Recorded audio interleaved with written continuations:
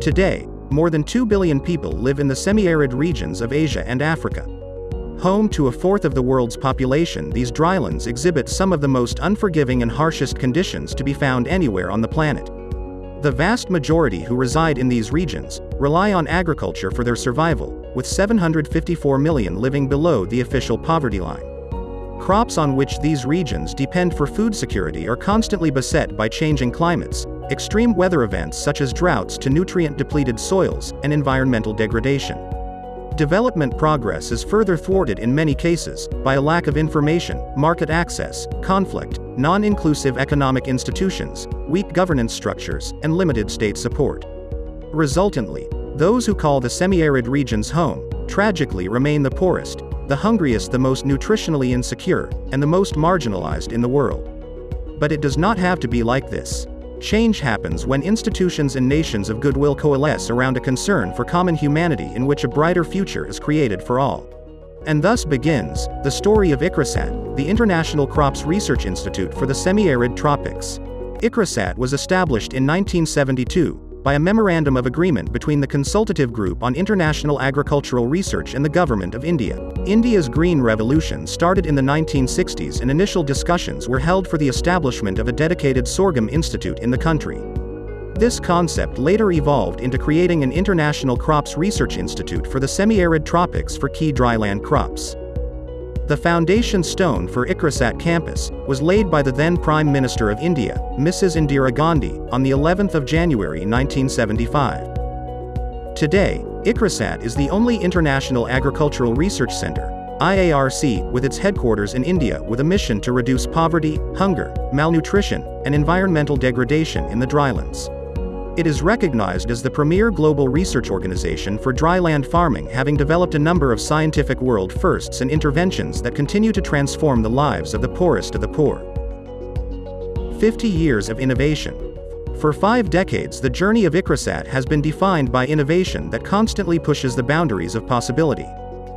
ICRISAT's core strength lies in its world-class research and scientific innovations with a focus on developing productive, climate-smart, and nutritious legume and cereal crops critical to the drylands, comprising chickpea, pigeonpea, groundnut, pearl millet, sorghum, finger millet, and small millets. 1970s The beginnings. ICRISAT scientists develop varieties, hybrids, and breeding lines that resist pests and diseases, and also develop technologies that can be used by dryland farmers. Agronomic experiments mark the beginning of the Institute's farming systems research program. These experiments were subsequently tested in watersheds from a land and water management perspective. Later came the intercropping perspective to watersheds, which was hard to promote in the 70s but became very popular in the 90s. The Genetic Resources Unit is developed as a global repository for ICRISAT's crop germ plasms. This leads to fully fledged gene banks being established in India and others in Niger, Kenya, and Zimbabwe. ICRISAT designs experimental plots for dry land cereals and legumes while initiating village-level studies incorporating cultural context, gender, nutrition, social inclusivity, and markets. ICRISAT pioneers aflatoxin research in groundnuts leading to heightened awareness on its post-harvest management to prevent adverse impacts on human health. ICRISAT conducts the first Farmers' Day convening farmers around its variety trials. The 1980s, an era of excellence and expansion. The first ICRISAT sorghum and pearl millet varieties are released for farmers in Sudan. ICRISAT expands its local presence by establishing offices in Africa commencing with the ICRISAT Sahelian Center in Niger. Queen Elizabeth II visits ICRISAT to view firsthand the work being undertaken by the Institute. ICRISAT-led projects deliver new groundbreaking outcomes for food security across Africa, Southeast Asia, the Middle East, Latin America, and the Caribbean. 1990s, the era of breakthroughs and awards. The 1990s cements ICRISAT's position as a leading agricultural scientific research center with a global reach in improving nutrition and food security. ICRISAT commences research to develop genome maps of sorghum and pearl millet with collaboration from Italy, the UK, and the USA. A geographical information system, GIS, that can manage multiple levels of spatially distributed data is set up for rollout across Asia and Africa. ICRISAT scientists breed ICPH8, the world's first hybrid pigeon pea with an increased yield of 30%, in partnership with the Indian Council for Agricultural Research ICAR. The variety is released for cultivation. Director Generals Jim Ryan and Shauki Barghouti received the King Baudouin Award for high-yielding and disease-resistant pearl millet and pigeon pea respectively. The first Women's Farmers' Day is instituted by ICRISAT and ICAR positioning India at the forefront of championing women's agricultural empowerment. 2000s, the era of new horizons. The recognition of the private sector as valuable research for development partners leads to the formation of the sorghum and pearl millet, hybrid parents research consortia followed by a similar consortium for pigeon pea. Renowned scientist and the 11th President of India, Dr. APJ Abdul Kalam, visits ICRISAT to inaugurate a genomic facility. ICRISAT's early advocacy for climate-resilient crops and climate awareness delivers a Nobel Peace Prize. 2010s, the era of digital and genomic technology. ICRISAT decodes the genome sequence of chickpea, groundnut, and pearl millet in collaboration with global partners. The combined impact of genomic and digital technologies results in fast-tracking crop innovations. This decade sees many world firsts led by the Institute, high oleic acid groundnut, high iron and zinc pearl millet, and sorghum contributing to improved nutrition in infants and children supporting the attainment of the Sustainable Development Goals. Further breakthroughs include fungal disease-resistant and early maturing groundnut, machine-harvestable chickpea, high biomass sorghum for biofuel, drought, and heat-tolerant chickpea. Digital technologies for farmers take off with the establishment of the ICRISAT's iHub, with plant disease detection and weather advisory applications developed.